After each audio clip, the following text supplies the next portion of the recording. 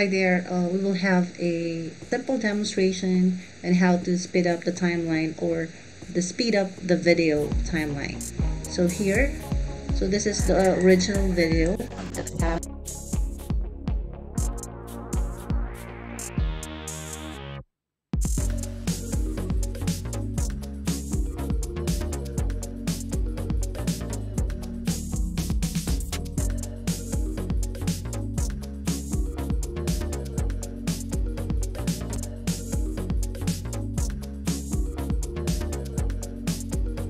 Here in this example, you have to click where I already to trim the video. So I from this point, trim the video. Okay, then go to view, properties.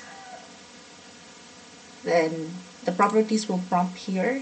Then you could put here um, speed up by 5, then apply. Click on apply.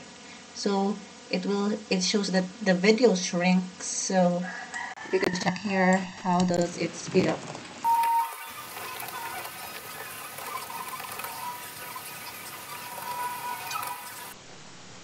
okay.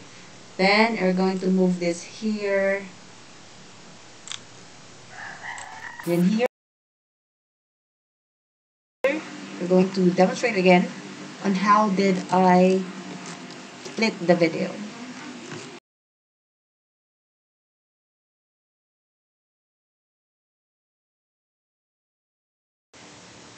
we already started here the split. It ends here then click on the video. You wanted to apply the splitting then right click then click on split then again select the part of the video you wanted to speed up or slow down then here is again I'm going to demonstrate it again 5 apply then apply. So it happens to be like that. So thank you for watching. This is how we split and how we sped up the part of the video. Thank you for watching. Hope I could help you out with this one. Thank you. Don't forget to subscribe. Help my please do help my channel grow. Thank you. Share love.